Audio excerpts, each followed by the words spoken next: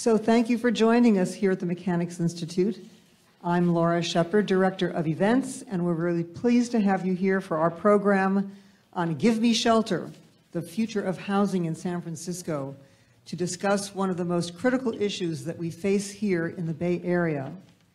I'm also very pleased to welcome our moderator, John King, urban design critic of the San Francisco Chronicle, and our wonderful panel with James Pappas, Christine Johnson, Jonathan Moftakhar, and David Rosen. Now, before we begin, I'd like to find out how many of you are new to the Institute. Who's never been here before? Any newcomers? No. All right, well. Looks like everyone knows all about us, so just remember to bring a friend to our next program and also invite them to come to our free tour of the Mechanics Institute Wednesday at noon. Um, and so we hope that anyone who's watching us on Facebook will come on Wednesday at noon and get a nice introduction to the Mechanics Institute. Also, I'd like to mention that next Wednesday we have another really provocative topic. The author is Morgan Simon in conversation with activist Kath Delaney. Morgan's new book is Real Impact, The New Economics of Social Change. That's on October 26th at 6.30, all about how investment and activism can go together and how finance can go for social good. So please join us for another great conversation next Thursday right here. And now let me introduce our panel and John King. Okay, uh, thank, thanks to all of you for coming to this. And most uh, moderators often will introduce someone by saying, so and so needs no introduction. In this case, the topic needs no introduction. I mean, anyone who lives in the Bay Area or has lived here really going back into the 70s knows that this is an area where the cost of living has continued to be high, that routinely seems to be obscenely, impossibly high, and then it keeps going further. Uh, the, the, current, the current market study here for San Francisco, done by Vanguard Properties, which one of the panelists is with, shows that the median neighborhood value as of this month in Marina Cow Hollow is 1.595 million. In Mission Dolores, it's 1.2 million. In Cole Valley and Haight Ashbury, it's 1.450 million. Put a very nice flower in your hair. Uh, in North Beach, it's down to 1.075 million, and Diamond Heights is a steal at just 830,000. And that's, I believe, condos. Those are and condos. Single family the, is quite a bit higher. Yes, the the single family prices make that look like affordable housing. Uh, so, you know, in, in other words, if there's been a change, I grew up in Walnut Creek and have uh, went to UC Berkeley and have been at the Chronicle since the early 90s. I mean, it's, you know, what I've seen in San Francisco is that really into the dot-com boom, there were still nooks and crannies where there was reasonably priced housing, you know, certainly for people wanting to just get to the city and be there and see what happened. Those places, you know, have been redefined. It's gone over, you know, now kind of San Leandro, San Pablo. You know, places like that start becoming the new frontier for artists, but they get real expensive too. And it just goes on and on and on. And so the question becomes what can be done about it? What is being done about it? And then also the flip side, which is, you know, the people who have made the sacrifice to live here in financial things over the last decades, many of them will feel, well, we chose the Bay Area because of how we view the Bay Area, what the Bay Area is, and we don't want to trade that off for, you know, housing draping hillsides or things like that, or, you know, 20-story towers marching up Columbus Avenue.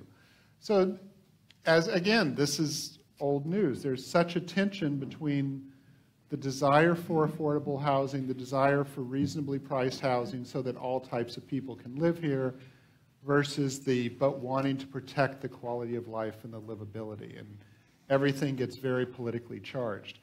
So that is going to be the kind of the framework for the topic tonight. Again, something everyone knows. And the Mechanics Institute has pulled together just a terrific quartet of people for the panel. I'm going to give very brief introductions. Um, and then I'll, but before, first I want to explain the format. There are not formal presentations. I'll be asking each of the panelists one question. They'll spend three or four minutes answering that question. We'll then shift to a general conversation. We'll then shift out to questions from the audience, and we'll wrap up at 8. So just to introduce the uh, panel, we're kind of marching this way to the end. Jonathan, Jonathan Moftakhar is with Vanguard Properties. They are a group that does a lot of infill development in San Francisco. They also kind of watch the market. They do property management and property management, correct? As well, yeah. Property management and just kind of watching the market. And David Paul Rosen, who has an office in Lafayette, he is very much involved in kind of every piece of the pie except working with the hammer out on the construction site. Uh, his firm works in deal structuring, it looks at renewable energy and energy efficiency housing. It has advised more than 300 municipalities and other forms of government. It's advised groups like the World Bank and UN Habitat on realms, you know, from high policy to financial strategies and things. Christine Johnson kind of comes here under two auspices, though I will be asking her a question from only one of them to begin with. Uh, she is, she also has her hand in all sorts of things in the city. Um, she's president of the board of the San Francisco Housing Development Corporation, which does a lot of work in the southeast area and the western addition. Um, she's on the San Francisco Planning Commission, which is certainly in the middle of all these issues and just about every other issue in the city. And she also, as of March 17th, became the director of the San Francisco office of Spur, a group that started in San Francisco but now is San Francisco, um, San Jose, and Oakland. Much more of an explicit regional look. She's running the San Francisco office. And then last of all is James Pappas, who is a policy planner focused on housing affor affordability at the planning department. He came from the California Housing Partnership Corporation. And one thing that's interesting to me is that I've covered planning either as covering planning or covering City Hall or being the architecture critic going back to the early 90s, and I don't recall a position quite like yours which kind of leads to the first question, which we're going to start with James and then come this way. And that would be what is the city trying to do in terms, in a nutshell, and that's a hard, all these are hard questions in a nutshell. What is the city trying to do to get the creation of housing moving more quickly at different levels? And how does the planning department fit into that, but also at the city level?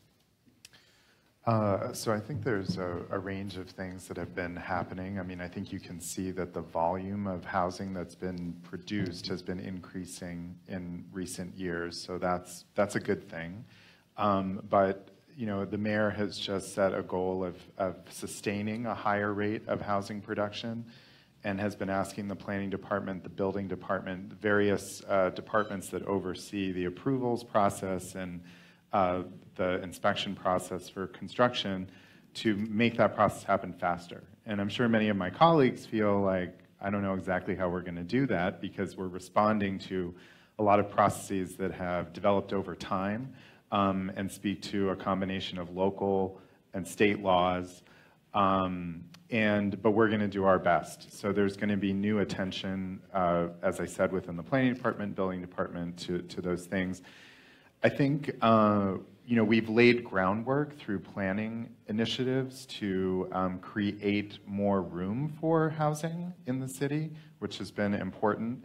We've also created new programs like uh, the accessory dwelling unit program, ADU, um, the Home SF program, which allows for uh, some increases in height and density in exchange for more affordable housing. So we're trying to pursue new policies that will uh, expand all types of housing for a range of people.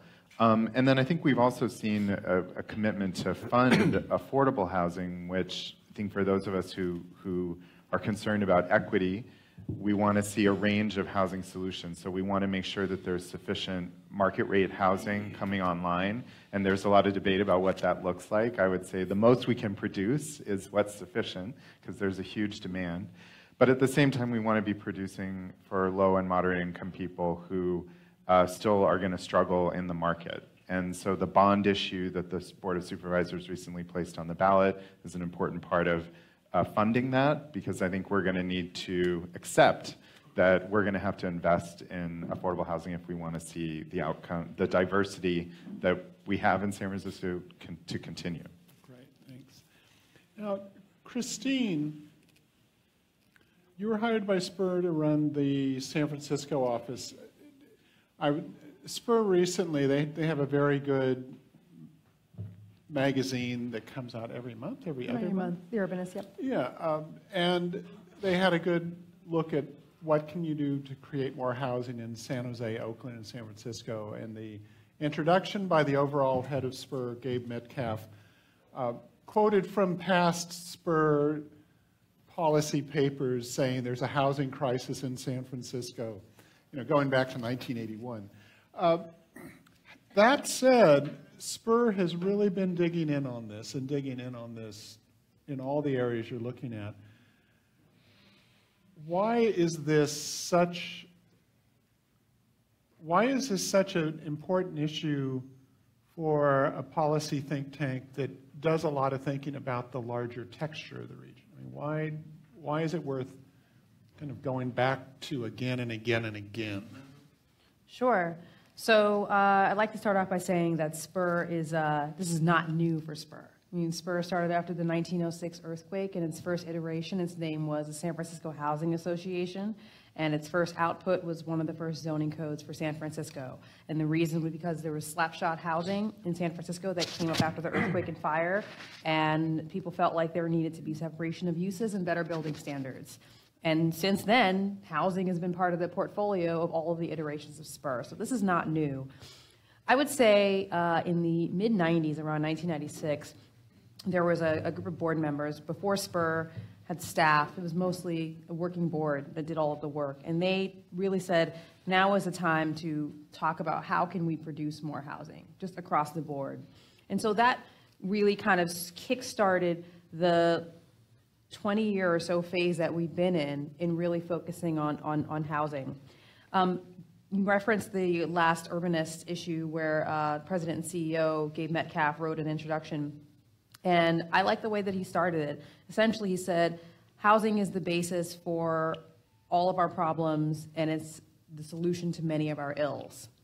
Without housing for everyone, a roof over everyone's head, we can't solve inequality.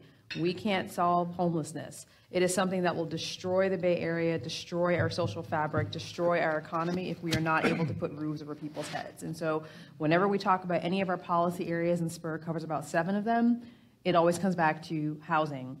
Um, and as a policy think tank, it's one thing to say housing drumbeat, but a lot of people do that. But one thing that Spur is really great at is talking about across the region why is it that there's not just one solution? Because I think if there were one solution, we would all agree on it, and then it would just happen. But it, as, as is the case, it's actually different in the three cities that we work on and across the region. So real quick, I'll close out with the three cities and kind of what we look at uh, at each of them, and then you know we can get back to the discussion. So I'll start actually in San Jose. So in San Jose, they have a little bit of a different problem they have a lot of companies that are out there. I mean, that's sort of like the, the home base of, of Silicon Valley, which is now have a lot of companies in San Francisco, but for the longest time, that's, that's not how it was. Um, and they have an issue with how do they uh, create more housing when they have such an influx of jobs that has been happening over the past 15 years or so. Um, and they focus much more in their discussions around how to create more housing about fiscalization of land use. And so, how it is that their zoning code and other, uh, other laws uh, make it such that uh, commercial development is much more fiscally um, prudent sometimes, a decision in terms of more revenue for a locality. And so that's been a real challenge for them in terms of how do they spur housing development when commercial development provides uh, so much sort of monetary benefit. So that's been the discussion there. In Oakland, it's a little bit different circumstance where it's actually like San Francisco where people want to talk about affordability, but they're a step back in terms of they don't actually have quite yet the development pressures that San Francisco has with a lot of parties who want to invest in Oakland. It's really challenging. The rents and the housing prices do not support the prices that market rate developers would need to get in order to pay the high construction costs and the high land costs. So you actually have a problem where feasibility of housing is a big issue, as well as people are talking about the housing that does come online, who is it affordable to? And then San Francisco, again, we have our, you know, our, our discussion really is about affordability. You know, we are a place where people want to invest, we are a place where people want to move, and it's about making sure that people aren't displaced and that everyone is able to afford a roof over their head. So those three areas have different policy sort of tweaks in terms of like why is it that housing isn't being produced and what are the issues that they focus on and i think spur does a really good job of, um, of illuminating that Okay. Now, David, you know, this area thinks, oh my gosh, the Bay Area is getting ravaged by housing prices, and that's true. But um, you can go to Boston, you can go to New York, you can go to increasingly places like Washington, D.C., Philadelphia, Seattle, Portland. I mean, it's a different scale, but there are a lot of metropolitan regions being pressured right now. Are there unique aspects to the, to the problems we face here? And then to what extent do the resources even exist? Well, I think one way to think about uh, how crushing uh, this problem is uh, for our region, and to put it in some context, perhaps nationally, if not internationally, is to quickly summarize the sort of demographics of the region and to translate that to what people and families can afford to pay and what it costs to buy or rent here. And then, as you asked, John, what, what the resources are that we have available, as James outlined some of the efforts of the city, um, but looking at this in totality among local government, the state government, which just passed some promising new legislation, the national, federal legislation, and the private sector. So really quickly, the median income in San Francisco for a family of four, anybody want to take a guess at what that is today? How much? Nope. Nope. $115,000 for a family of four. And what that translates into long established federal and state policy defining so called very low income families, very low income, at 50% of the area median income, is a family of four's income of $56,000. So I, I'm not sure if you went up to someone on the street and asked them, and they earn $56,000, did you say, you know, sir or madam, did you know you're very low income? I'm not sure they would have agreed with that statement.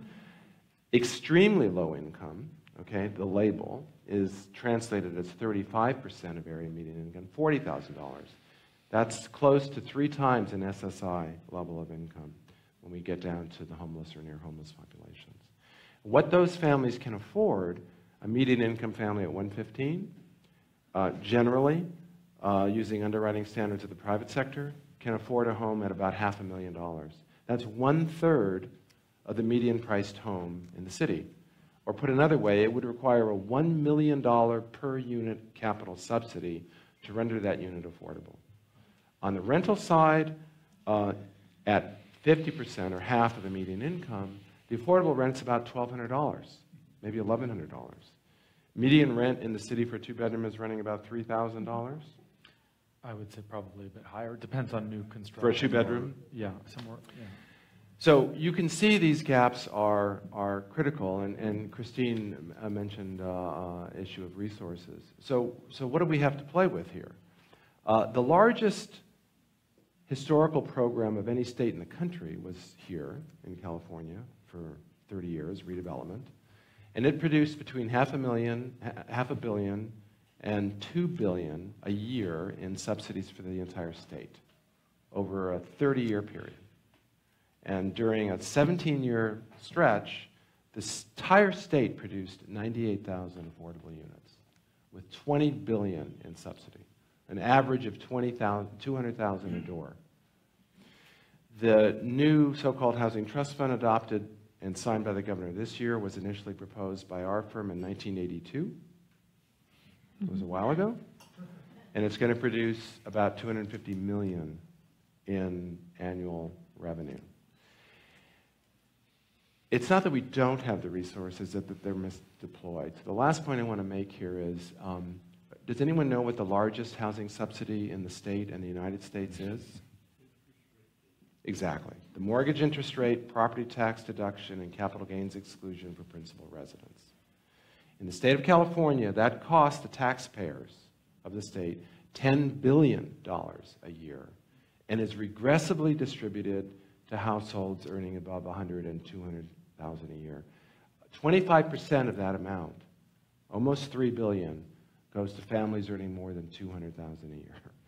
So if we simply made a slight adjustment of say 20%, we could do a budget neutral shift of renewable re- uh, revenue sources for affordable housing to the tune of the highest level of redevelopment funding in the state's history, 2 billion a year. That's without dinging the budget a dime.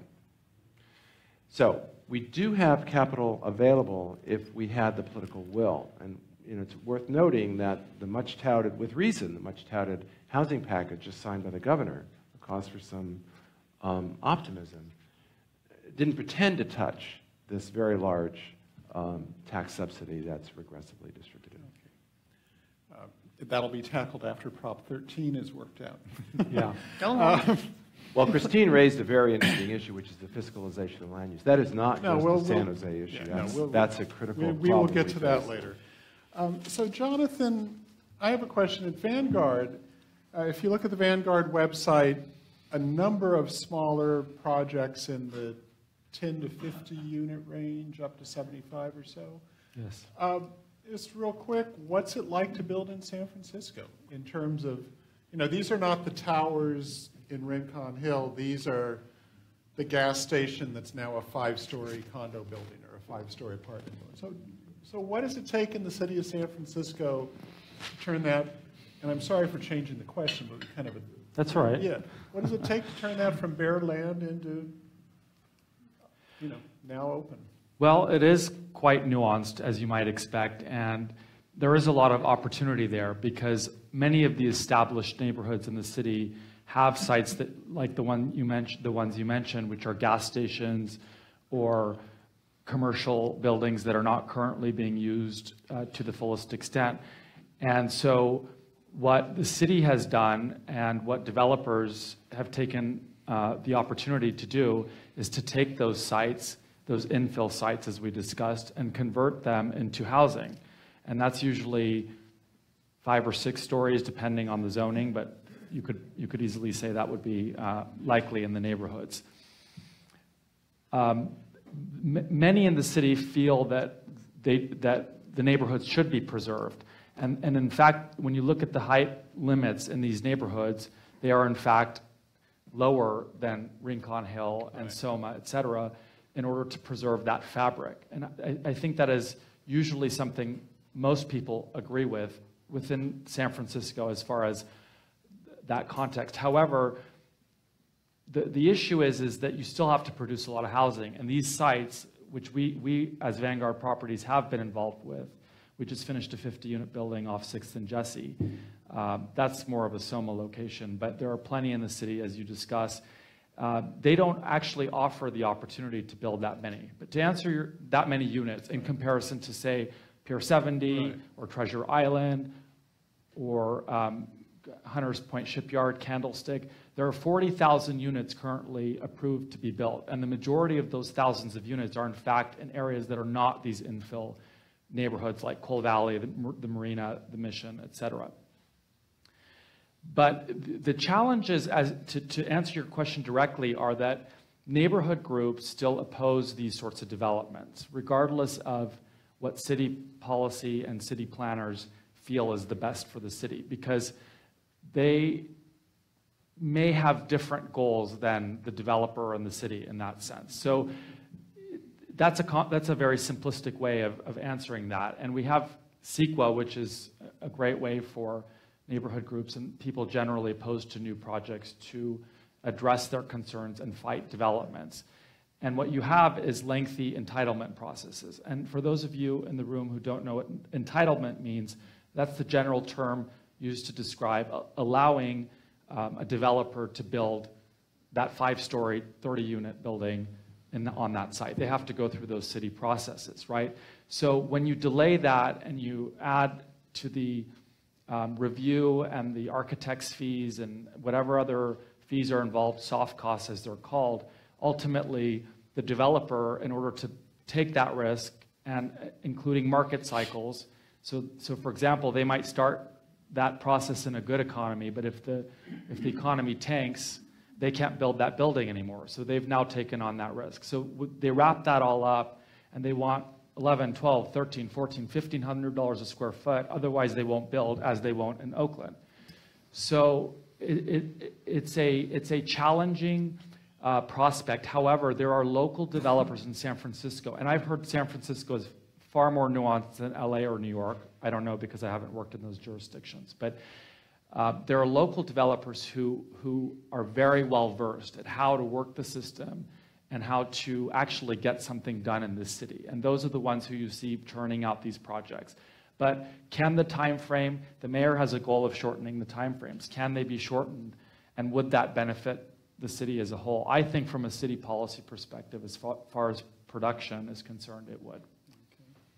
I want to, um, we're now going to shift to more of a conversation. Uh, but first, I want to do a quick follow-up with you two and then more of the conversation. Um, and I, I was talking a little bit about this with James, is that on the one hand, the city is really pushing, we need to build a lot more housing. And look at all these needs. Look at, you know, you can measure them in so many ways. The flip side is actual projects you want to fit into the fabric of the neighborhood. There's a lot of definition of what the fabric should be. I hear from architects or developers who say, just, you know, the amount of time a design takes to get fiddled with chews up a lot of time, and that's even if there's no objection to a project. Is there a tension between the policy goals and the kind of quality of the urban fabric concerns? And should there in fact be one because we're building the city that is going to be the city of 20 and 40 years from now? Or do we get so wrapped up in the ideal at the planning level that we trip over ourselves? I'd say off the record, except it's on Facebook Live. Well, you've probably seen more of this. I mean, I've, I've been at the planning department just a little over a year, so I'm sure Christine has been witness to many of these nuanced conversations. So I let you take the lead if you want to. Oh, no, I want to hear your staff. I want to hear you say first. well, I mean, I think there clearly is a tension there, and, and there probably needs to be a tension there. I mean, we do want to uh, encourage housing production, but we have a long history in the city of being very cautious about our urban form and urban design. Um, I think, you know, if there is an issue that, I mean, there may be process points that I don't know all the details of because I don't work directly with the urban design. We have some great architects who help review projects and but I think, you know, maybe even some of them would say, and I'm speaking for myself, but just sort of the conversations that I've heard and what I've seen is that maybe we need to move more towards a form-based code where it is clearer what you can do and what you can't, and there's just clearer direction, and so that the person who's coming in with a project knows, you know, they've had a clearer sense of what we're looking for. And there is, there is still a lot of room uh, for adjustment that happens through that urban design process or before the commission. And it can get very nuanced and detailed. And, you know, so helping uh, us as staff pull back, be able to pull back from some of that stuff, but providing more guidance for people uh, in the code because there are ambiguous things, there are things that are open to interpretation. And so that's when you get into these kind of time consuming back and forth sort of things. Sure. So I'll follow up uh, quickly there. So um, for folks, my, you know, I like to always start with first principles, like how did we get here? Why is this the case? Um, I like to break it down into two things. The first one is in our um, charter, basically. Every department that issues any sort of permit has discretion in whether to issue that permit or revoke it or change it or, or do anything they want uh, or, or deny it for any reason at all. And I say that because the way that that translates to the planning department is that there then becomes a culture citywide, but also in the planning department, that if you are going to approve a permit, you want to make sure that you really thought through all your, you dotted your i's, cross your t's, really thought through and used your discretion to make the best decision possible. Versus in many other cities, the building code is the building code. As long as it signs off on X, Y, and Z that it says in the building code, check, check, check, here's your permit, here you go. So we have a different culture because of, of, of how our city is set up. So that's number one. Uh, the second thing is our general plan and our planning code do have a lot of places where it's really ambiguous, and sometimes we have even areas that contradict each other. And so again, it just sets up a circumstance where you require that discretion from the department.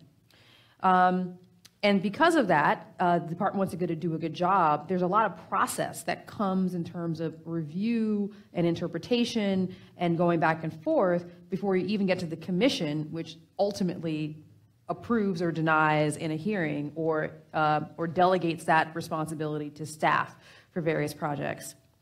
So I don't know if that's, I hope that's helpful for people in terms of understanding like why is it that there's so much discretion? Why is it that there's so much ambiguity? Why do things uh, take so long? And I think your question was, what can we do about it? Um, It's kind of, is that kind of the way it should be? Or is that the way that it is and you're flummoxed at how to change it? Yeah, you know, I would say, um, having seen hundreds of projects, even in my time on the commission, I'm not always sure that that's the way it should be. When I look at the outcome of so many of our projects, even especially the ones where there's a lot of agreement and a lot of um, people feel like they were good decisions, I sometimes question whether or not all of the process was necessary. Some of the things that we see um, that are good elements, I sort of wonder, is there a train that we can just sort of do a review and write some of these things into our urban design guidelines or into our planning code? Are there things that we can clarify? Do we need to have the same level and round of back and forth just to end up in the same place? Like there are certain building elements and certain design elements and certain ways that buildings interact with the with the street level that are consistent in all of the projects that people end up being happy with. And I sort of wonder sometimes, can we just write that stuff into our planning code so that it's not having to go around and around every single time to end up in the same place. So I sometimes I sometimes wonder about that. Um, but I do think that we have a special fabric in San Francisco because of the level of community engagement we have. Um, and there's some times when I don't know that that's the reason why we have such a housing backlog. Um, we just mentioned there's 40,000 units that have been entitled approved, ready to go in the ground, and there's other reasons why they haven't been constructed. And most of the city doesn't even build to the allowable zoning, let alone talking about upzonings. So that, you know, there's a lot of other reasons other than that piece. And now, and now um, conversation talking about the need is more apparent. Um, James talked a little bit about the mayor with the executive order and trying to move things along. David talked about some of the changes in Sacramento. I mean, do the four of you sense that there are shifts in terms of the need for housing be, to become more? Is housing becoming more of a practical urgency to get it built than the, gee, we really need to do something? In other words, do you, you know, do the four of you see changes that are likely to really kind of build up some momentum? I'm going to say no. I mean, I've been at this for 37 years, and we had the same conversations in 1980, and we had the same affordability gaps, and we had the same lack of resources. Um, we had a president who cut HUD's budget by two-thirds, and created something called homelessness for the first time, and who, as governor, uh, deinstitutionalized the mentally ill and uh, contributed to another component of the homeless problem. I, I think in San Francisco specifically, which geographically, right, is landlocked. I mean, we have no place to go but up. And let's be blunt about that. No place to go but up. Now, LA actually is also, believe it or not, an entirely built city.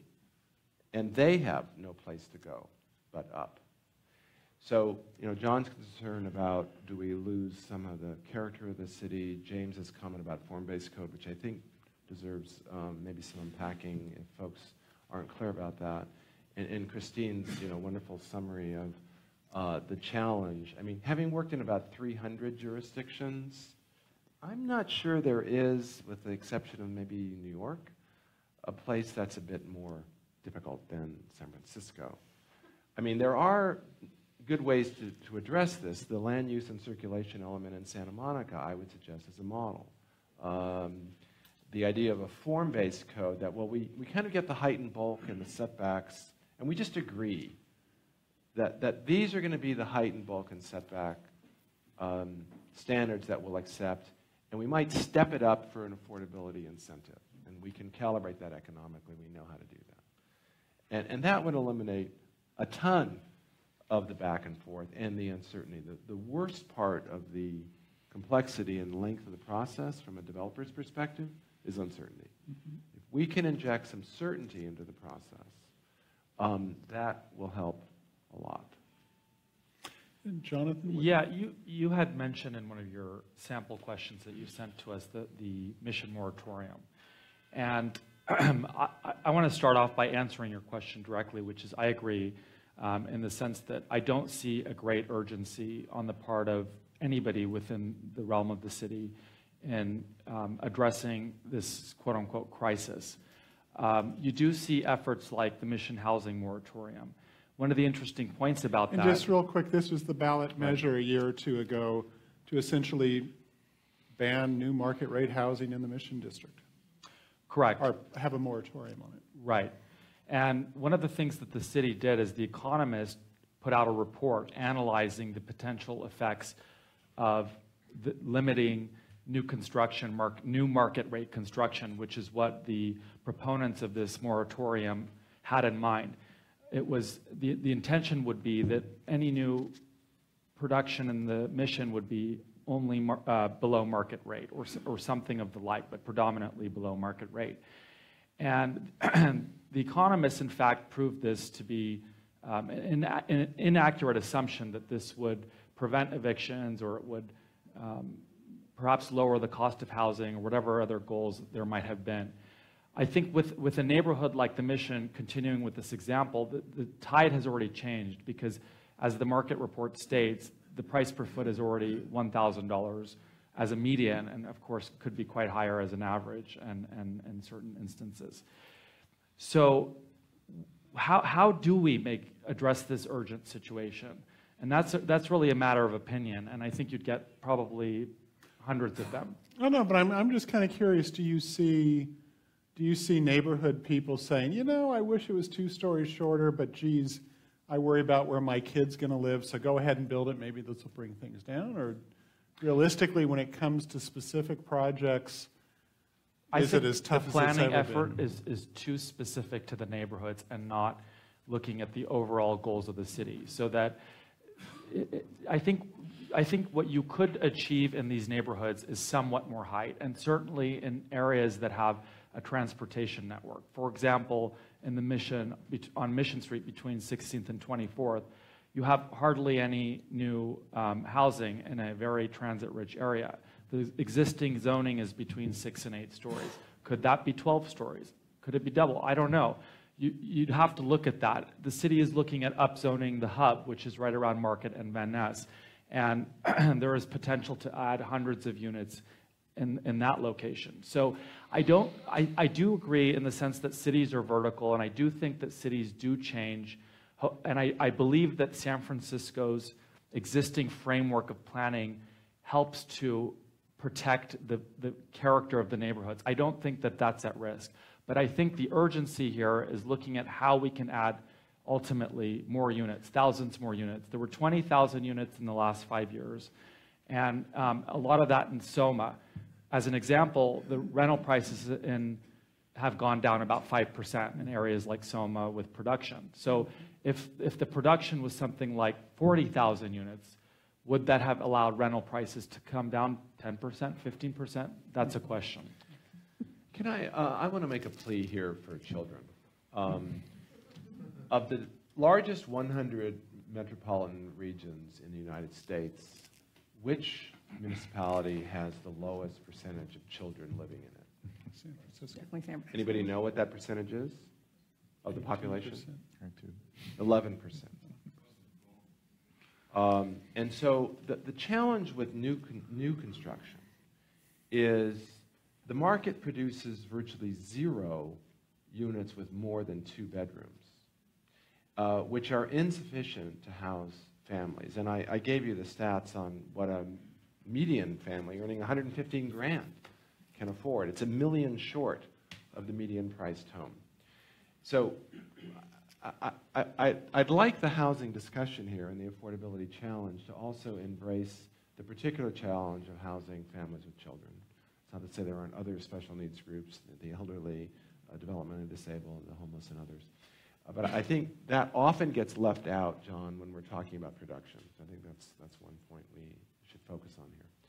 Um, and I, I think the, the other issue here is um, this notion of being so landlocked. We, we really are between a rock and a hard place, literally, in San Francisco. I don't envy you your job on the commission, and nor yours at the department. Um, and if San Francisco's can agree on, you know, what that through the general plan, right, what the ultimate population is going to be, then we're just going to have to deal with that. And because we are landlocked, and because we have a, uh, an end game of production, um, we're going to have to address the issue of long-term affordability through subsidies. There, there really isn't another way to do it because the production will not solve the crisis in affordability for those at 80, 50, and 30 percent of median. It'll only be at the very edges, and it'll be the very top edges. So if rents go down 5 percent in Mission Bay, great, right? 3,500 to 3,200. And I just gave you the economics of that. So um, one myth that we have is that production will solve the problem of affordability, and it will only do so at the very narrowest of margins at the top end. So let me ask, though, um, should we be looking at this as a San Francisco issue? I mean, my wife and I lived in the inner Sunset in the early 90s. We wanted to buy a house. We didn't want to buy a house in the fog, so we looked in Potrero Hill and Bernal Heights and then, you know, and Glen Park, and we were kind of seeing houses that kind we kind of liked, we could kind of afford. Somebody said, "Oh, you should check out North Berkeley." You know, we got a really nice little bungalow in North Berkeley. We've lived happily ever since. I got a job at the Chronicle, and I'm at work in half an hour. Uh, I mean, is there a way to think about this regionally, reas- regionally, or is the issue that every municipality sees itself as unique? That Lafayette sees it, okay, well, this is an issue that's Lafayette's. Walnut Creek sees it that way. Marin County certainly sees it that way. I mean, should we be thinking about, you know, that this is a regional issue? Yeah. So, okay, so yes, and it's funny. I think that uh, actually, of the however many hundreds of cities there are in the nine counties of the Bay Area, a good deal of them have leadership that are uh, that do think regionally about this, and they do think that this is a, something that you have. We have to be creating housing. Uh, all across the board for all of our residents across the region. The problem is that doesn't translate into individual decisions that are made by individual municipalities with their own zoning codes, their own planning codes, their own sets of, of, of advocates uh, and neighborhood groups and others who engage in the process. So um, the idea of regionalism sort of breaks down when everyone has to make their own decisions within their own boundaries. And, and because of Prop 13 and other, um, other constraints, uh, there are, there is a lot more for an individual municipality to consider than just are we creating enough housing. So, you know, one, I think we need to think about a regional governance system before we can think about how can we truly um, collaborate regionally. I mean, we can have goals, but again, every city has to do their own thing because that's the way that we're structured. So it's a little bit challenging. I think people think regionally, but they act locally. And I just want to add, uh, we, we had a, a, a presentation actually to the housing production in the 90s and 2000s is about half what it was in the 70s. So this production, eh, regionally, regionally, and a lot of the production that has occurred was, uh, you know, especially in the 80s, 90s, was in that kind of outer uh, parts of the Bay Area, outer Contra Costa, Solano County. And San Francisco has actually really stepped up production in the 2000s, but we, we had very little housing production throughout most of the 80s and 90s. However, the region now has dropped off as well. And so I think we, we need to recognize this sort of broad regional trend and think about how we can encourage other cities and, and work for these either, either through regional governance or just mechanisms that are going to push us to do what we need to do. But the flip side of the current situation is that where we can, what we can actually control is here, mm-hmm. and we do need to, I think, model uh, appropriate housing policy for the region because we are still one of the leaders uh, for you know people look to us, although I, sometimes they look to us and they're like, oh, San Francisco, you know. but I think, you know, we are, we are uh, obviously one of the major cities, and so we have to set a tone. So I think across a range of housing policies, that's what we're trying to do more and more at the planning department. Um, but I fully agree with Christine that we need more effective regional systems and state systems.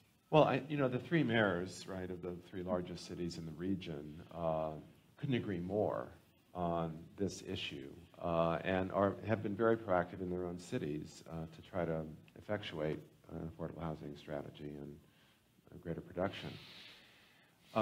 But again, I think uh, looking over decades, and you know, Spur goes back, as Christine uh, rightfully reminds us, to 1906. But look, looking back over the decades of debate, and it is definitely seen as a regional issue, John, and we have state legislation that dates from the 70s that declares it a regional issue. We have ABAG, the Association of Bay Area Governments, which forecasted a need for 187,000 new units in the nine county Bay Area from 2014 to 2022. But the fact of the matter is, of the 140 odd jurisdictions in the nine counties, they're going to go their own way. And I think the notion that we're going to see individual cities give up their sovereign rights over building permits is a pipe dream. So what can we do about that if we accept that? And, and, maybe I'm more pessimistic than my colleagues. But if that's at least a concern, one issue would be what we've started to do in Sacramento, which is, look, if you're going to have, say, a form-based code, or you're going to have a general plan with designated densities, and um, you come along and, and propose to build within those density limits, you're entitled. No questions asked. And if the jurisdiction denies the, and the, denies the permit, you have a right to sue the jurisdiction. Mm -hmm. That would be a big advance. Commonly known as as of right, correct? As correct. of right. Yeah, that would be a huge advance, but it requires state legislation. Well, we uh, kind of have that. This, you could do it here, I guess, to a, to a degree. Yeah, so the Housing Accountability Act, which passed in 2014 and was strengthened this year in the package of housing bills, allows developers to sue cities that uh, deny housing projects. So how does it work, Christine, given the, the citizen input process that you, you know, uh, unpacked for us a few minutes ago? I mean, well, it's, it's really challenging. It's actually happening right now. So as a city planning commissioner, we often have hearings where the city attorney, who sits kind of below the dais on the left, will furrow her brow and, and, and look at us and shake her finger. Well, she doesn't shake her finger. That doesn't happen. But what happens is whenever we have a commission hearing and there's a project before us that, let's say, uh, has 15 units, and we start saying, well, we think there's too much shade or we don't like it, so let's shave it back you know, maybe 10 feet on this side and 10 feet on that side, and then the result is a loss of units. The city attorney will say, Housing Accountability Act, Um, It is legally, uh, uh, it- we are in legal jeopardy when we shave off projects or, or use our discretion to change a project that would result in a reduction of units, and that's state law. Right, So- right. The other, the other state law provision is the housing element law, uh, which provides for this regional housing needs uh, and invests the state housing and community development department with the power to invalidate a city's general plan if it is found in noncompliance with regional housing need production. This statute dates to the 70s. How often has it been used? Never. Never. And so, uh, putting teeth into that, that that's a, s- and- and maybe we should look at the 2014 Act, Christine, and, you know, folks like you and Spur, both wearing your planning commission hat and policy hat, can strengthen the effectiveness of that statute. But I think, John, looking at the housing element law with um, uh, giving some real state power, I'm given this crisis, to at least provide this as of right um, authority uh, in the, as an alternative to the notion of regional government. Let, let's flip the, let's flip this around though a little bit. I mean, it does get back to people will say, I am in the Bay Area because of this wonderful mix of open space, because San Francisco has these unique neighborhoods. You know, the notion of quality of life is very different than the notion of quantitative need. One reason for all the process in San Francisco is the sense back in the 60s and 70s that the fabric of the city that made it a distinct place was under threat from urban renewal, from towers, from insensitive development in neighborhoods. Now you can, and also places like Berkeley have certainly done this. I mean, you can quarrel with it, but that's a very solid argument. I mean, realistically, you know, there are a lot of state parks. You could also, in the Bay Area, say, do we really need that many gentle hillsides? Uh, you know, I mean, how does how does the undeniable crisis make inroads against the process and the passionate feelings that, well, we we want this place to have the unique aspect it does.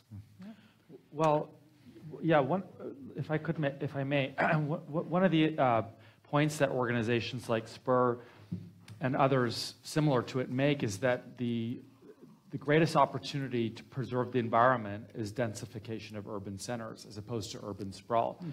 which used to be more of the framework and probably still is the framework in other states.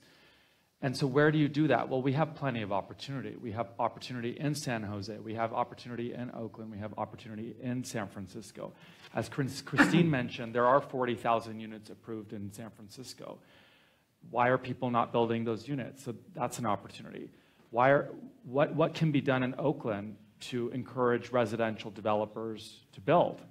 And, and they have started to in this cycle, but late. But this does get to what David had mentioned, that we also want different types of housing. You know, I mean, it, it's, it's, you know, the reason I'm raising this is that it's so, and this is the reason we're in the bind we're in, it is so tough. I mean, I, you know, just real quick, and then I want to finish this up and then go to the shorter questions. It was striking with ABAG and the. Are there short questions? on this? Mm-hmm. Oh, yeah. yeah. I mean, that's the thing, it's not an easy issue. You know, the whole issue of Plan Bay Area, which is a pretty well-meaning but fairly innocuous effort to start trying to think about regionally, how do you do this? The way it was being depicted as stack and pack housing are going to blanket the hillsides of the Tri-Valley. And, you know, it's tough. I mean, it does run into this real challenge of people saying, well, why do I need density? I think, uh, you know, when I think about San Francisco, and I'm from San Francisco, and so I've seen it, you know, 40 years of uh, its evolution. Um, I, I think when I think of density here, I think of it, it sort of intensifying what makes San Francisco great. I don't think of destroying it. Um, and I, you know, I think there's a lot that we can do through uh, design, uh, through through good planning, where even if a, a neighborhood shifts to having more six, eight, ten-story buildings, it can still be contextual, it can still add to the fabric, or where uh, higher rises are going in, that can also be done in a way that works. So, um, you know, when you think of, of Barcelona or Paris, which are very similar in size to San Francisco, and they're more than double the density, two to three times San Francisco's density. So I really don't think a denser place is a less livable place. And I think we sometimes confuse quality of life with a lifestyle. People are used to a certain way of, oh, there's more parking, or there, I mean, that's a lifestyle. It doesn't necessarily mean it's, a, it's the only way to live or the best way to live. So I think we have to be open to thinking about um, how to square those things. Okay. And I would just make uh, last mention of something that sort of goes back to one of your previous questions of, do people perceive this as a crisis and as a going, you know, again, keeping the commissioner hat on because you just, you, we sit up there for like 12 hours every Thursday, so you see a lot of stuff. You Your know, place is secure in heaven, okay? oh man, I, Doing that duty, yeah. yeah. I will not call myself a martyr, but others may. Well, then, I thought, I thought you just were, no. Um, so I'll give a quick example of like the way I see the culture in San Francisco changing. That's going to be helpful for this discussion about quality of life versus lifestyle. Um, I don't know how many of you are familiar with the YIMBY movement, but one of the uh, sort of heads of that movement, Laura Clark, often comes to planning commission hearings.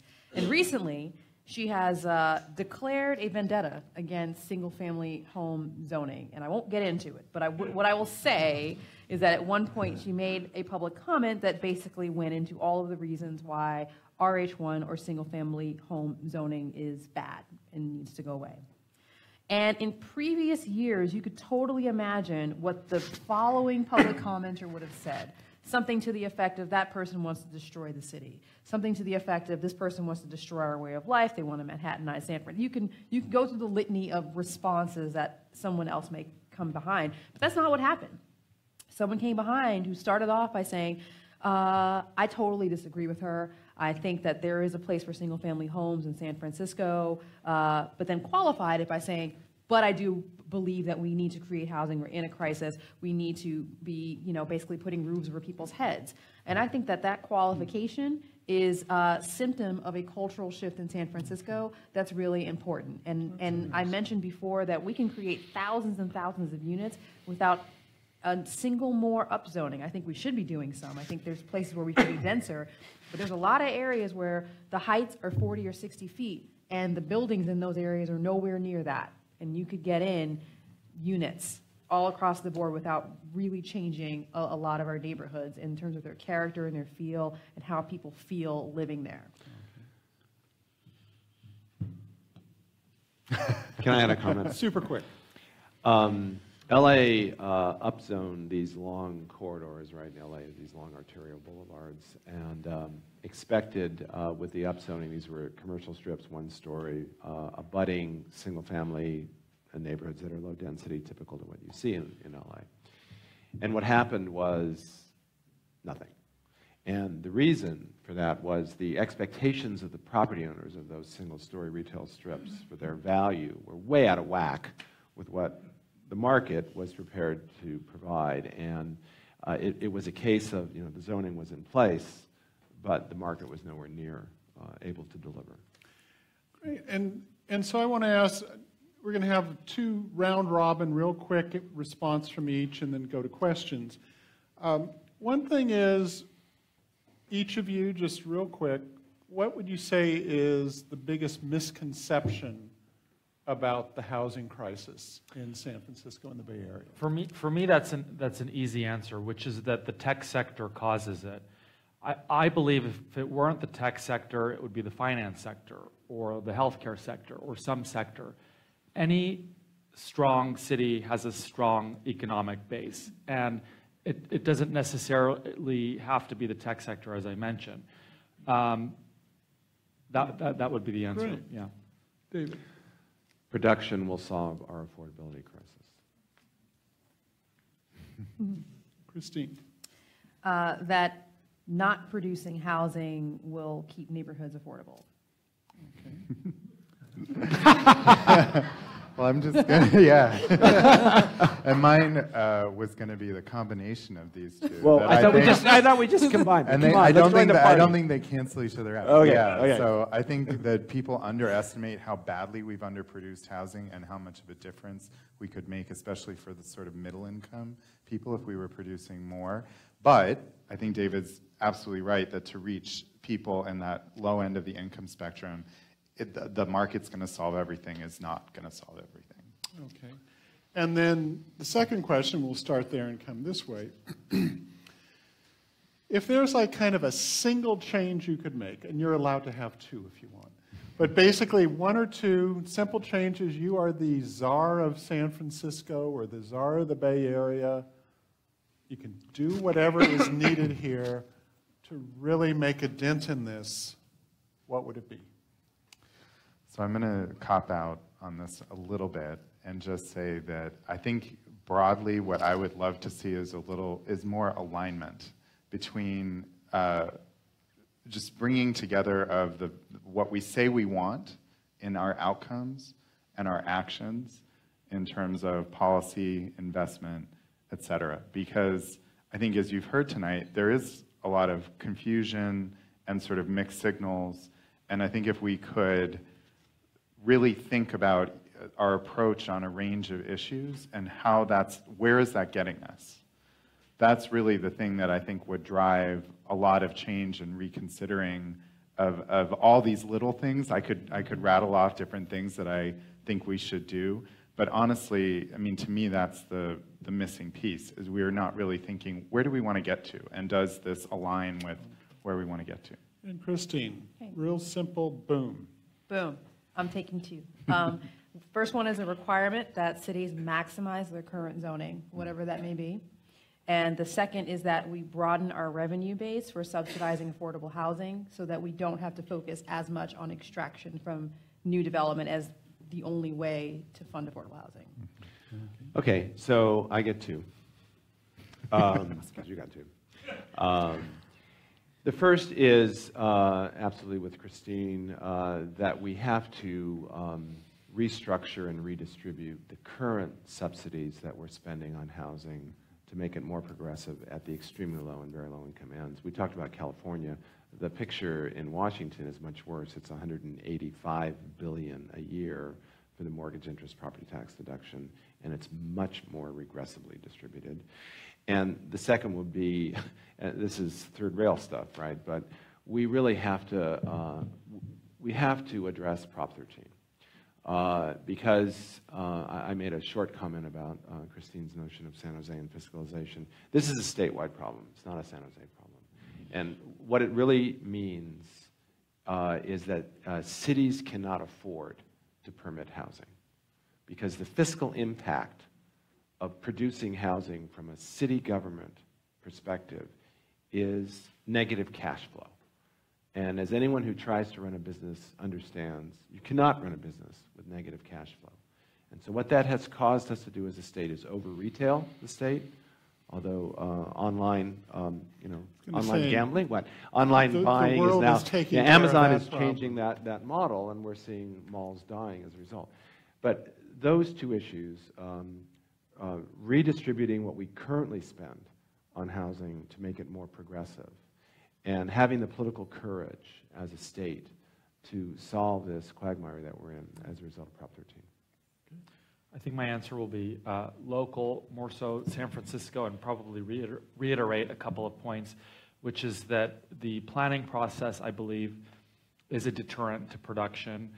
Instead, I would seek to have the uh, typical timeline of two to three years, maybe on average. I don't know what the average is. Uh, Christine might, but I would say six months to a year.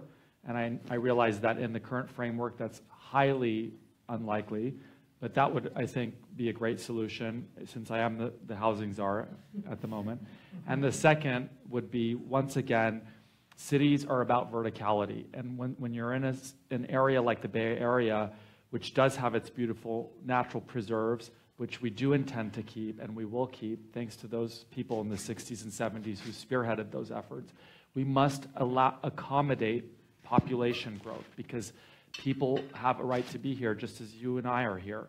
How do you do that? You have to densify cities. And I'm not saying build 25 story um, structures in Cole Valley. I'm saying allow for greater density, eh, two to three stories in neighborhoods like Cole Valley, you know, 10, 10, five to 10 more stories in neighborhoods like, um, like I mentioned, on the Mission Corridor between 16th and 24th.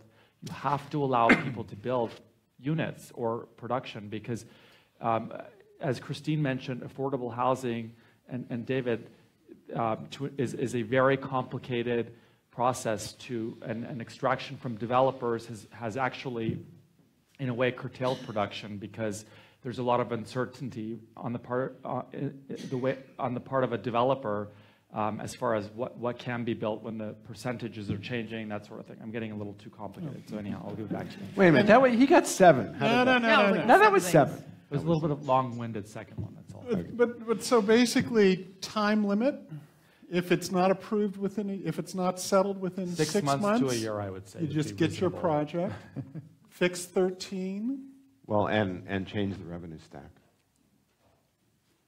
We, we need more capital to render housing affordable because it Oh, is a that's right. myth. Okay, so Prop 13 and, We need the fiscal juice to make this work, John. Otherwise, we're wasting our time here. Because we're not going to even touch the problem without that level of capital investment.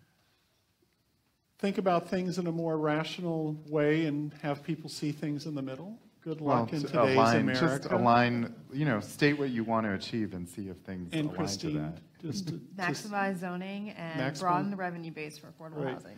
So nobody said convert regional parks to mobile home parks. Oh, Just want to keep that Oh, clear. well, no, no. Wait, go Can we, back. can we Oh, get, too late.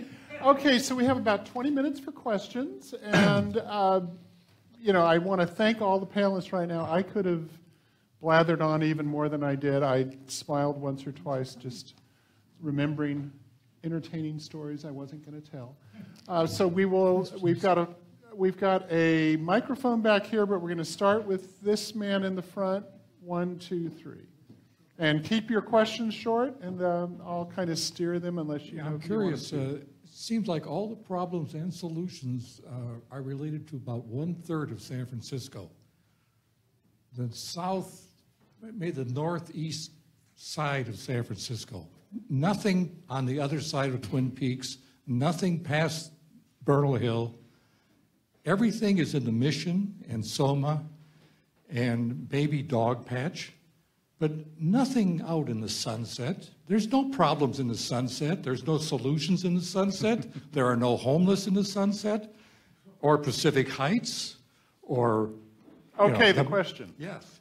Or was So- it more a statement? So, does someone have the, uh, the ability to move some of the solutions out of the Mission District to a different part of San Francisco? Well, uh, Katie Tang um, had proposed in the, we- in, I I believe her district is the Sunset, is that right? Yeah, That's but right. her- Yeah, she had proposed um, Home SF, which has now actually passed, which allows developers on commercial corridors, correct me if I'm um, misstating this, to build two to three stories additional. These are areas where there's, um, you know, a major transit line like the light rail or the buses, um, in order to densify those commercial corridors on the western side of the city. Um, she, she actually did a pretty extensive planning process where she identified specific, uh, I believe she, you you call them soft sites, where you identify the potential for uh, specific developments and housing to be built on sites like a one-story bank, for example, building a little retail shop, to where you would have the retail, but then you would have housing built on top, um, s- uh, keeping the, the retail fabric as well. So there has, there has been an effort on her part, but I agree with you in the sense that it has not been a concerted effort. It's not the southern part of the city per se that I've heard of. There are odds and ends developments, and the developers, they don't see a lot of money to be made in those neighborhoods, so they're not pushing for it either. So it's sort of like the problem with Oakland is that if they can't justify the rents and or, or the, the for sale amounts, they just they're not they're going to focus on the North Beach or the marina, you know. But the other odd thing with that, the, the slight densification heading more towards zoning as of right, or building as of right, took about two years or so. It was at first rebuffed not just by the sunset, but they had the alliance of a number of progressives on the east side of the city who saw a tactical advantage to going after the mayor and the housing department. And only when it was then kind of changed and moved and modified and beefed up to kind of a more pure thing did it pass. And there's been one project approved. So it's a start, a small start. Um, wait, uh, let's, oh, oh, okay. Okay. Uh, You haven't uh, mentioned anything about the trade unions. What, if, what effect are the trade unions having in the cost of development and in their support for more housing? Or are they a hindrance to you as a developer, Mr. Vanguard? Oh, um, well, cities like San Francisco are very much um, trade union friendly, of course. I, I think it's just a part of the puzzle. I don't think it necessarily, I mean, it does affect the cost of construction, certainly, but um, that's just part of, I, I don't see that as a problem to answer your question necessarily, yeah. Are there, I'm just curious, if, I mean, we've heard that the Mayor's Office of Housing struck a deal with some of the unions to do modular construction on a homeless housing development, uh, and that, but there's been resistance to modular, which potentially can lower costs because you're assembling part of the building off-site, right, and then transporting it in. So, I mean, do you have any thoughts on that? That are there ways that we could bring costs down by striking appropriate deals with labor where we still have good labor standards, but Or is some- that another third rail in the sense of? Well, the, the quantitative answer to your question is about 15 to 25 percent cost increase of hard costs to um, pay for prevailing wages. But, but that said, um, San Francisco is largely a union town, and so it's, it's sort of like that old jazz tune, you know, compared to what?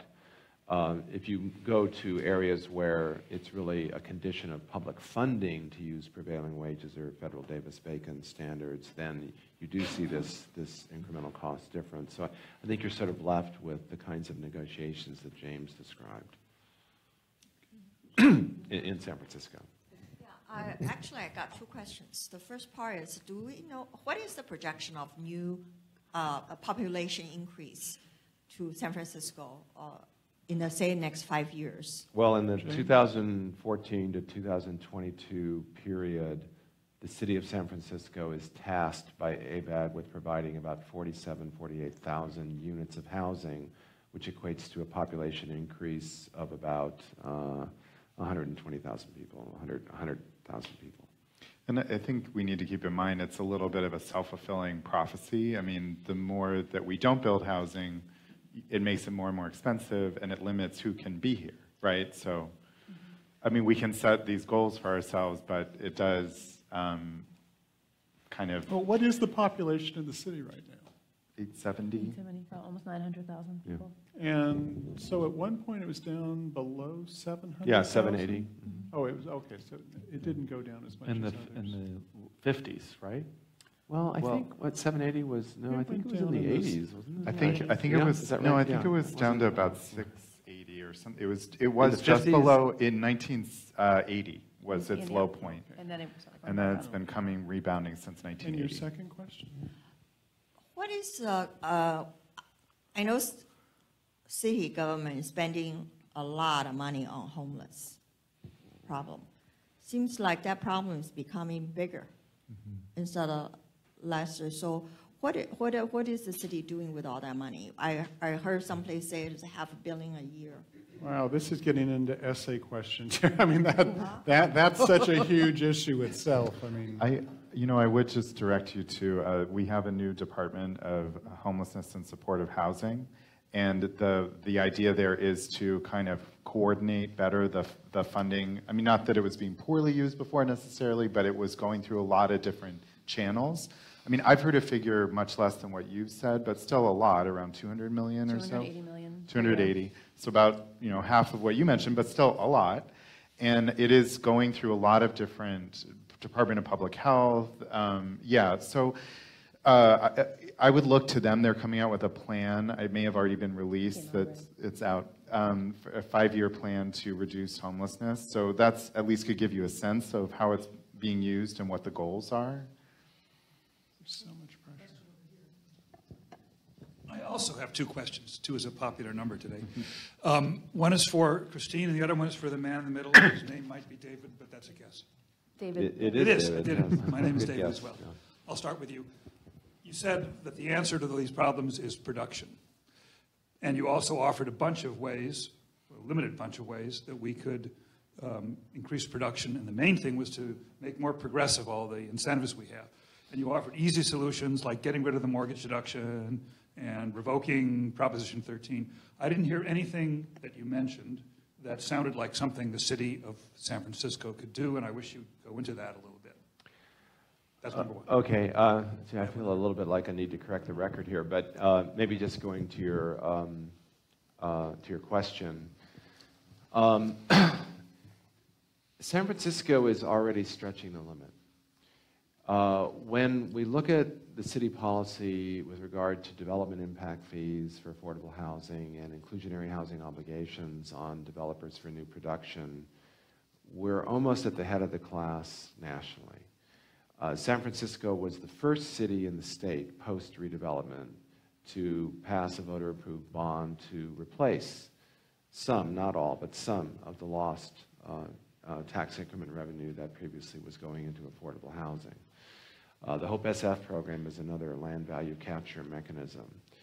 Um, I actually did not say that production was the solution. I actually said uh, I said that production is not going to address the affordability crisis. Um, so um, it's a bit tough to, you know, I, I think the homeless issue, um, you know, I, I mean, San Francisco, it's a very tough pro- problem and it's a critical, it's, it's a measure of who we are as a nation and as a community. I just returned, we, we do uh, energy and housing work in Europe. I just returned from Brussels, Amsterdam, and The Hague. I saw no homeless person, not a single one. I talked to and it's just we as a society uh, provide for them, not only shelter, but the services that they need. And it was just, you know, shameful. Um, but the city is really doing quite a lot, which is, which is frustrating, right? Because we've produced more housing than we have in, I don't know, in history, John, but in, in certainly in the last 40, 50 Fi- years. I mean, this has been the most production, certainly in the last 35 years, San Francisco has seen. And guess what? We have record prices and record rents. So the notion that production is going to solve our price problem is, is a fool's errand here. Um, you know, what could the city do? I suppose we could turn to the voters and talk about a permanent source for affordable housing rather than periodic bond measures. And, um, but, you know, how much blood can we extract from the stone? I mean, we have other needs in the city as well. Yeah, that's actually a good point. And the, Question? the quick question for Christine. No, no. Oh, Christine, you said that your solution, or one solution you proposed, was that the cities be required to maximize their zoning envelope. The, um, I just wonder how you do that. Do you tell people with single-family homes, we're going to charge you a lot of money unless you, unless you put on the second and third story? What, I mean, you can't do that, so what are you talking about? And then, because I'm never going to get this mic again, will somebody tell me why all you guys are talking about five-story conveniently maximizing certain obvious kinds of zoning areas when the UBC now allows you to have five stories over a- a reinforced concrete box? Why aren't you talking about six stories? We're talking casually. I mean, we're just using that as a round, as an easy number. So, Six is a big number. oh, yeah, yeah. Okay, quick thing. Uh, we won't get into the details, but there is something to construction methods where you get it above a certain story. It's not five, it's more like seven or eight. And then you start going into a different construction method and there's different costs associated with that. So there is a, there is a line where cheaper, more expensive. Um, and then just to quickly get to your question about maximizing zoning, uh, no, I don't think you need to necessarily have a requirement, uh, like you must demolish your single-family home and rebuild it with three units. But we have all kinds of permits at all times of people coming in and saying, I want to extend my house. I want to put on an extra story. I want to uh, uh, blow out the back. I want to excavate beneath. And I think that is, would be fairly easy for the city to have incentives financially or through the planning code or otherwise to say, well, if you're going to expand your building in that way, we want to incentivize you to add an extra unit, to add an ADU. Um, I think, you know, you can't force people to do things, but you can create a system where one choice is easier than the other. Yeah, it, it, we, we gloss over that, but I do think for San Francisco, the accessory dwelling unit uh, uh, approach could, um, could produce, you know, I don't know, has, a, has a census been done? Yeah, I mean, Uh, 660 ADUs are currently, uh, And uh, maybe under- explain Yeah, uh, oh, to the sorry. group what ADUs are. Yes, uh, accessory Granny dwelling units units. in the backyard. Yeah, Granny, basi- so granny use in the backyard, all across Or the the country. basement, or- Yeah, all across the country, people tend to think of them as, as backyard cottages, but actually in San Francisco, the majority of accessory dwelling units that are permitted are existing space within existing multi-unit buildings. So think if you've ever been into an apartment building where maybe half of the second floor was storage. You can have potentially two or three accessory dwelling units. But So is it's it actually hundreds, different. Christine, or thousands that could be built? Oh, I mean, I mean, the, oh, the yeah. capacity is. what's the Thousands. capacity? That's my thousands. question. Thousands. Yeah, the- I think the capacity is, is quite large. In the last year or Vancouver- two, in the last year or two, we've had 600. That's what Yeah. Christine was And. Because that's- Vancouver, Canada has done quite wonderful things with accessory dwelling units. And so I I think that, that is actually something the city could do. And, and that's a great way, uh, if I may just comment on that, to maintain existing neighborhood character, but add potentially more units.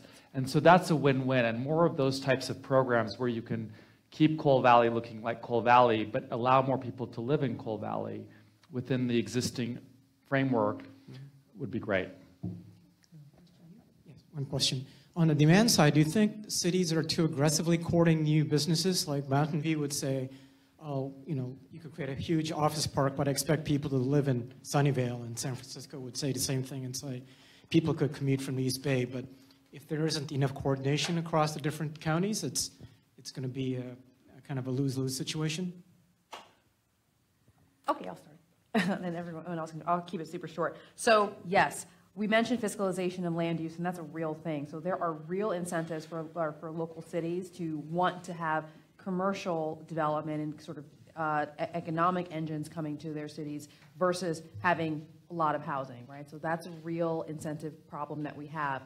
But on the flip side, here's one thing that I would say uh, in favor of some of the cities who, who sometimes do say things like that. It's not great regionally, but in a, history has shown us that economic engines are how you get nice things, right? We're talking about high-speed rail coming through the Bay Area up from LA. Uh, we have billions of dollars, in, in, at least in San Francisco, of infra- infrastructure development, the Transbay Terminal, um, potentially talking about a second Transbay crossing. All of these things happen because there's an economic engine that is being serviced that people who live here will also benefit from. So there's sort of um, some, some a mixed bag of incentives that cities have, but I think I do think that the pendulum has swung a little bit too far in terms of too many localities um, going going for that gold ring of building their economic engine over putting roofs over people's heads.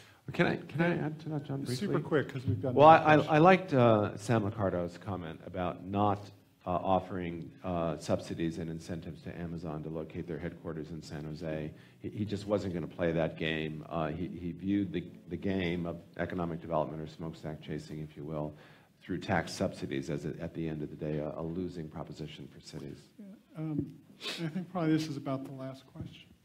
So following up on that, that regional question about the, the benefits that accrue to the region from the um, businesses being incented to locate in the region and how we solve the broader development problem. Um, I recently heard about a, a public-private group, I don't know if SPUR was involved, with 30, 30 to 50 regional leaders and business leaders um, trying to arrive at a sort of grand bargain on housing regionally. Have you heard about that, any of you?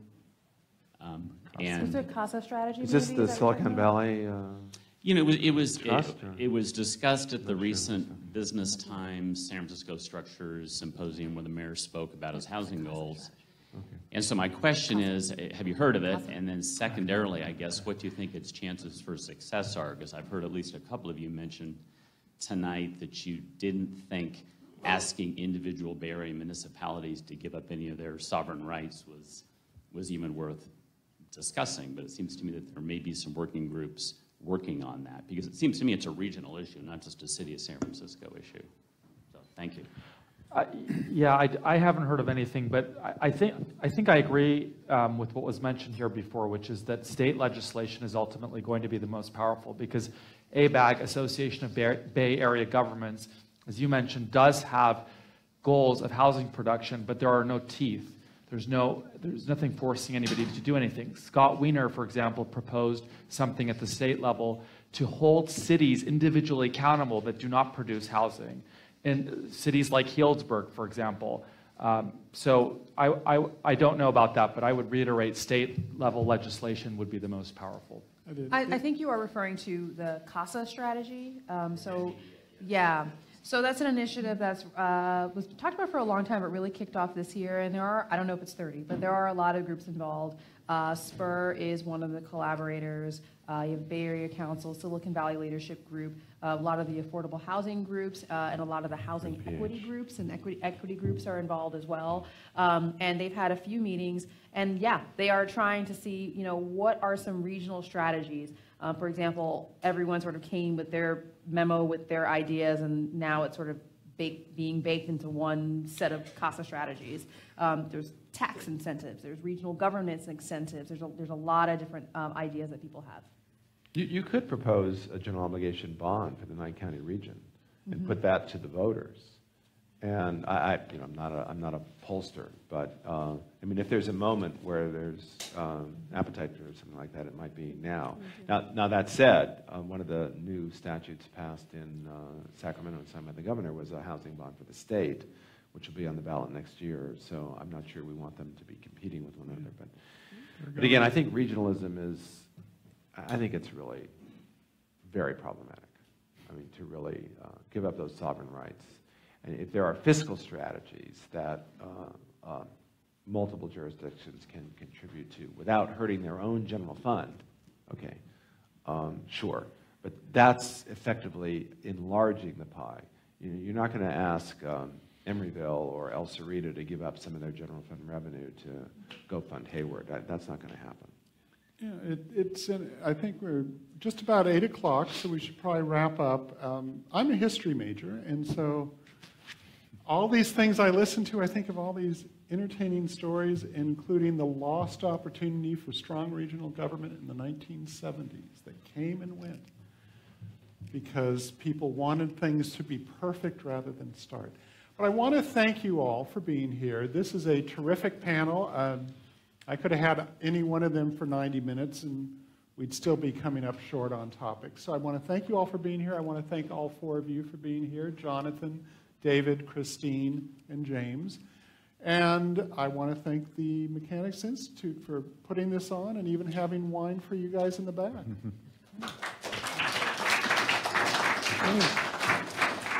Thank you for this incredibly informative panel. And I also want to thank uh, Mechanics Institute member Michael St. James for initiating this idea and the panel. So if you're watching, Michael, thank you, and see you at the next program.